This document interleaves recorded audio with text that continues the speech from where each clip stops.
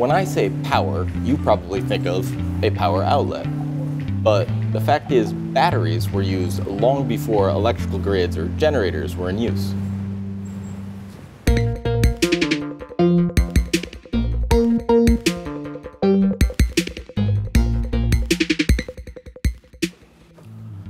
The term battery was first used in 1749 by Benjamin Franklin to describe a set of capacitors he'd wired in series in order to produce a higher voltage.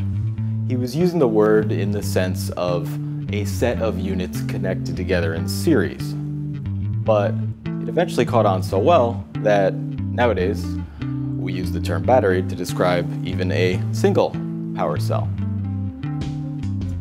Of course, Franklin's capacitors are not batteries in the modern sense.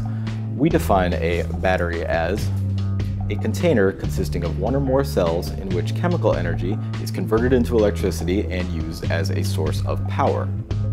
It would be another 11 years before someone used a chemical reaction to reliably produce electricity. In 1800, Alessandro Volta stacked copper and zinc discs on top of one another, separated by pieces of cloth soaked in salt water. He called this a voltaic pile, and it was the first source of relatively reliable continuous electricity in convenient pile form. And this is considered the first definitive battery. The zinc discs served as anodes, the copper as cathodes, and the salt water was an electrolyte. With these simple materials, we can easily create our own voltaic pile. Let's start by making a single voltaic cell in a beaker.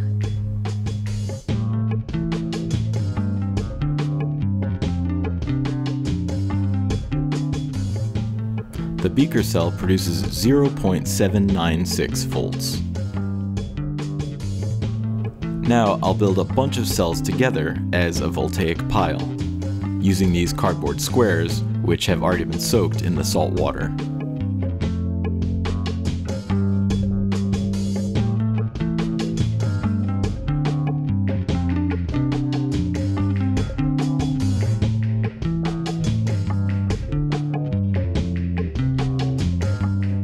It's not sturdy by any means, but this leaning tower of Volta produces enough power to light a 5mm blue LED. And for the record, that is 9 cells in the pile, producing 6.33 volts. Not long after the voltaic pile was created, William Cruikshank came along and improved the design by laying it on its side in a slotted box. This helped prevent the electrolyte from leaking and causing shorts between plates, and it was known, appropriately enough, as a trough battery. But moving away from piles and troughs, in 1836, John Frederick Daniell pushed the battery further with his Daniell cell. The Daniell cell's defining feature was its use of a porous barrier between two different electrolyte solutions. In this example, we see the copper cathode sitting inside of a porous earthenware pot filled with copper sulfate. This pot is then submerged inside of a container filled with zinc sulfate and encircled by the zinc anode. The porous earthenware allows ions to pass between the electrolytes, but hydrogen bubbles are prevented from forming. This greatly increased the cell's lifespan when compared to a voltaic pile. The Daniell cell wasn't perfect, but its improved reliability made it suitable for widespread use. In fact, the standard for 1 volt is based on the output of one Daniell cell. All of the batteries we've talked about up until now would be considered primary, which means once their chemical reactions are depleted, that's it, they need to be replaced. Now, a secondary battery can be recharged multiple times and used again without being replaced, which is a good thing. In 1859, French physicist Gaston Planté created the first rechargeable battery, using a lead anode and a lead dioxide cathode immersed in sulfuric acid. The chemical reactions inside Planté's lead acid cell could be reversed by passing a reverse current through it. A pretty amazing feature, but its weight and size made it impractical for most uses. Still, it was suitable for some things. In fact, lead acid cells are still used in cars today. So far, all of these early batteries have used liquid electrolytes, which pose pretty obvious challenges to portability.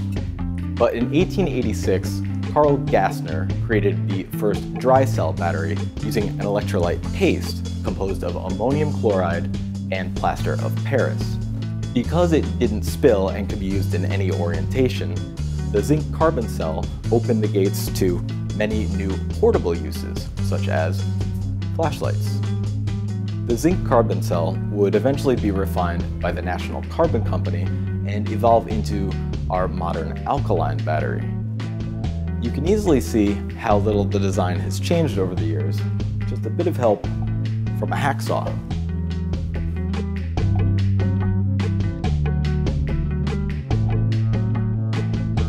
It's densely packed, but all the elements are still here. A carbon cathode down the center, thin shell of zinc serving as the anode, and a thick pasty black electrolyte. Of course, more and more nowadays, when we think batteries, we think lithium. In fact, you probably carry around a lithium battery every day in your pocket. Because of its low density and high electrical potential, lithium has long been considered an ideal material for use in batteries. But it wasn't till the 1970s that the first primary lithium cells were made widely available. Further developments from researchers around the globe led to the release of the lithium ion battery in 1991 and later the lithium polymer battery in 1997. The major difference between lithium ion and lithium polymer is in the electrolyte. The microporous electrolyte used in lithium polymer batteries means they can deliver the same power as lithium ions, but in a lighter, flexible package. Otherwise, the chemistries are the same.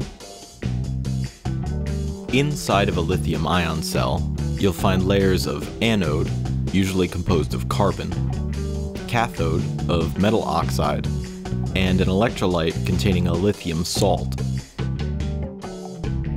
So ultimately, batteries come down to chemistry.